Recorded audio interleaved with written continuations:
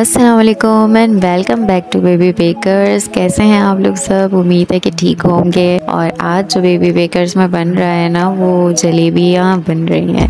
जलेबी की रेसिपी मैंने शॉर्ट्स में भी अपनी डाल दी थी लेकिन मैंने कहा एक डिटेल रेसिपी भी आप लोगों के साथ शेयर करूँ ताकि आप लोगों के लिए बनाना ईजी हो जाए। सबसे पहले आ, हम एक पैन ले लेंगे उसके अंदर एक कप शुगर डालेंगे एक कप ही पानी डालेंगे और उसको अच्छी तरीके से शुगर को डिज़ोल्व होने तक शीरा बनाएँगे। शीरे को ज़्यादा नहीं हमें पकाना है, सिर्फ़ उसकी कंसिस्टेंसी ऐसी रखनी है, जैसे चिपचिपी सी होती है ना, बस इस तरह की, ज़्यादा नहीं पकाना।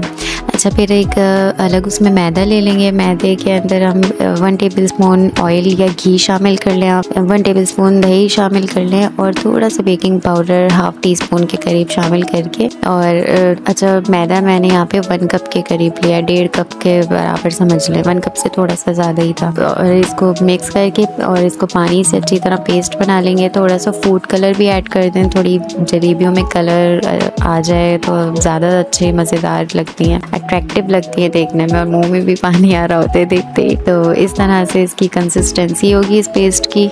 ना ज़्यादा हम इसको पतला रखेंगे, ना ही ज़्यादा जो है वो पतला रखेंगे। अगर तो बहुत ज़्यादा जलेबियाँ हमारी फैल जाएँगी और अगर बहुत ज़्यादा गाढ़ा रखेंगे तो हमारी जलेबियाँ बहुत ही ज़्यादा क्रिस्पी और हार्ड हो जाएँगी। कंसिस्टेंसी इसी तरह की रखनी है जिस तरह वीडियो में आप देख सकते हैं। और इसको फिर एक पाइपिंग बैग में भर लें, या अगर आपके पास टोमेटो केचप वाली बॉटल है तो आप उसके अंदर इसको भर सकते हैं। या एक कोई भी कपड़ा ले लें, उसके अंदर डाल के जिस तरह से एक हलवाई स्पेशल बना रहे होते हैं, वो मलमल के कपड़े से, आप उस तरीके से भी कर सकते हैं। तो मैं केक्स वगैरह बनाती हूँ तो पाइपिंग बैग से मैंने उसमें डाल दिए पाइपिंग बैग में डाल के और जलेबियाँ इस तरह से हम जिस तरह बनाते हैं ना, हलवाई राउंड राउंड शेप की तो इस तरह से हम बना लेंगे और इसको फ्राई कर लेंगे। एक तरफ़ से फ्राई होगी तो इसको चिमटे की मदद से या किसी भी आप चमचे की मदद से आप इसको दूसरी तरफ़ पलट के फ्राई कर लें। कलर आ जाए, दोनों तरफ़ से बराबर जैसे सुरख कलर आता है रेड कलर वो आ जाए। तो फिर आप इसको निकाल लें। यहाँ शीरा देखें, हमारा बिल्कुल रेडी हो चुका है। जलेबियाँ निकाल के आप एक प्लेट में पहले रख लें ताकि इसका ऑयल जो है वो सारा निकल जाए या टिश्यू या बार में रख सकते हैं ताकि ऑयल इसका सारा निकल जाए।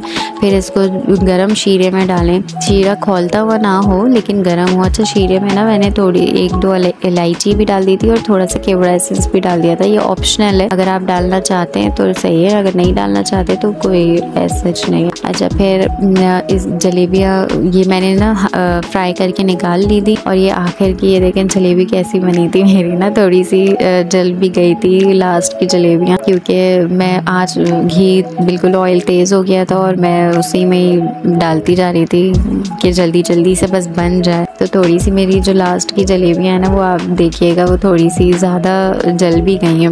मतलब जली नहीं है, लेकिन थोड़ी सी ज़्यादा रेड हो गई हैं। खाने में वो टेस्ट में ओके थी, लेकिन दिखने में वो जली हुई लग रही थी। तो इस बात का भी ध्यान रखिएगा कि जलेबी को टाइम से जो है वो आप निकाल लें ज़्यादा ओवर कुक ना करें। तो फिर हमारी जलेबियाँ तैयार हैं, शीरे में डिप करें, पाँच मिनट शीरे में रहने दें, उसके बाद निकाल के और सर्व करें। मज़ेदार गर्मा गर्म घर में इंस्टेंट होममेड जलेबियाँ तैयार हैं, कितना ईजी है जलेबी बनाना, कोई मुश्किल नहीं है। आप लोग बनाइएगा ट्राई करिएगा और मुझे भी ज़रूर बताइएगा कैसी बनी है। और अगर वीडियो अच्छी लगी हो तो लाइक शेयर एंड सब्सक्राइब भी कर दीजिएगा। मिलते हैं नेक्स्ट वीडियो के साथ। तक के लिए अल्लाह हाफिज़।